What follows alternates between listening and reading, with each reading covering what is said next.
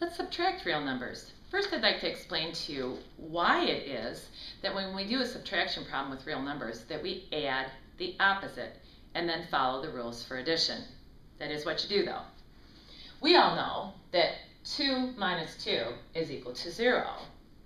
And with the logic and what we've been doing with adding real numbers, we also know that if we took a positive 2 and added a negative 2 to that, we'd also get 0. And this is kind of the premise of why whenever we have a subtraction problem, please notice that it's the same thing as an adding the opposite values. So I can take any subtraction problem and change it to an addition problem and change the sign of the number following. I'll be saying that I swipe, swipe. I use my pencil once to change the subtraction symbol to an addition symbol, and I change the sign of the number following. Let's do a few problems. And then I, I do follow the rules for addition. So if I have 3 and I want to take away eight, first of all, I imagine that in this problem you might understand that you're going to go into debt. Let's say we were talking about money. Let's say you had $3 and you took away 8 You're going to be $5 in debt. But what we're going to say that whenever we have a subtraction problem, we add the opposite. Two swipes of my pencil, and then I follow the rules for addition. Um, again, addition. These two numbers have different signs. One is positive, one is negative. The 8 has more pull. I know that my answer is going to be negative because of the sign in front of the 8. I take their absolute values, the 8 and the 3, and I subtract them and I get 5, making sure again that my sign with the more the greatest pull is in front of my answer. Let's do another. I think I'll leave that one there. Let's take a negative 15 and subtract a negative 8. So again, remember to read this correctly. A negative 15 minus a negative 8. So whenever I subtract, you don't have to use your pencil every time if you can do this mentally, but when I subtract a negative, I add a positive. Two swipes of my pencil, one to change this to an addition problem, one to change the sign of the value following. Now I follow the rules for addition because they have unlike signs. I'm going to subtract their absolute values. 15 minus 8 is 7. The 15 has more pull, so my answer will be negative. Let's do another one. So I have 9 minus a negative 3. This is like having $9 and somebody takes away $3 of debt that you had. You're kind of better off in that problem. You're further ahead than that $9. But mathematically what we say is let's add the opposite. These two values have the same sign. Matter of fact, this is arithmetic as we know it all our lives. They are both positive numbers. We add their absolute values and we give the sign of our answer the common sign, which is positive, which we typically don't write down. Let's do one more. A negative 7 minus 12. So again, a negative 7, this is a subtraction symbol. Subtract a positive 12, so I'm going to add a negative 12.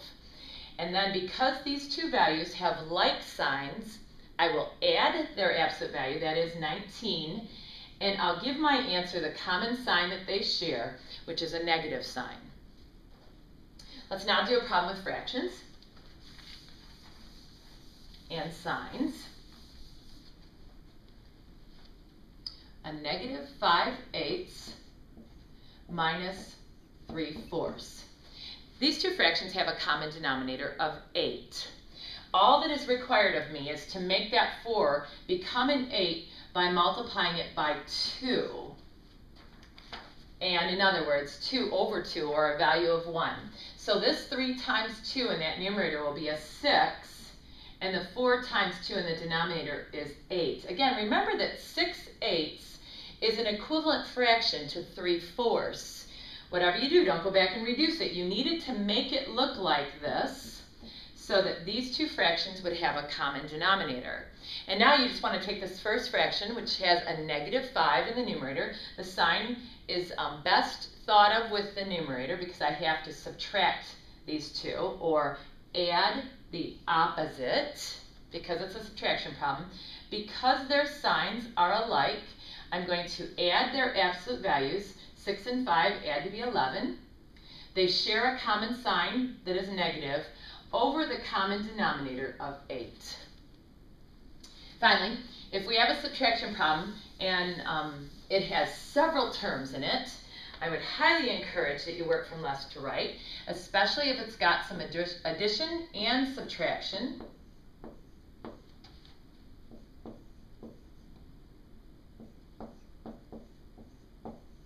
Let's work this one from left to right.